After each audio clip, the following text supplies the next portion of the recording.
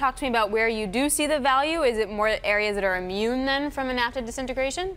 No, actually, we are we uh, sold out of almost anything in Mexico around mm. two years ago. We have not been in Mexico uh, for some years investing precisely because we see a, a big a big risk uh, there.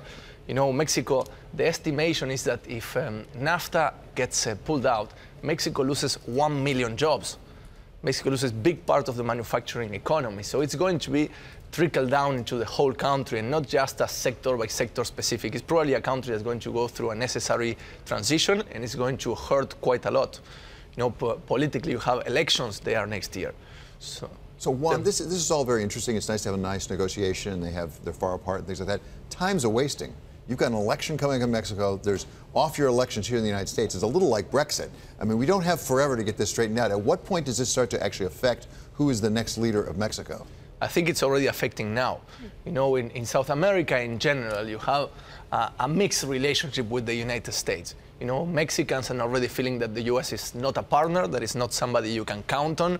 Uh, in addition to all the, the public spats between the, the president, it's definitely, you know, you are turning from a partner to probably an enemy of the United States um, at south of the border. Luckily for you, the Canadians are nicer people, but it's also happening on, the, on that are, side. They are nice people. So imagine a United States uh, surrounded by Canada, which you got out of the pact, Mexico, which you upset, uh, Cuba, Venezuela, which you are in sanctions, maybe war with. It's not a nice neighborhood that Trump is creating around here.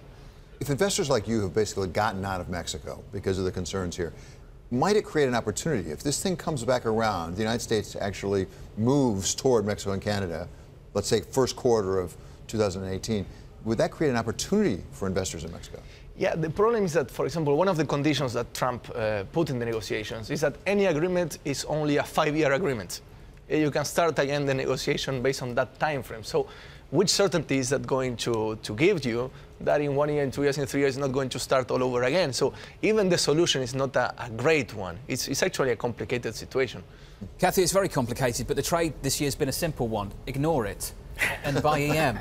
right. Why is that going to change? Um, you know, things don't usually change on valuation, but the valuations in EM are just so stretched on the fixed income side that I, I, there has to be some sort of a correction. And maybe people just didn't believe that NAFTA would really come down to this. Maybe they thought a lot of talk, but not much action. If we actually get action, uh, it could shake up EM. It's always a relative trade with EM, so stretched compared to what?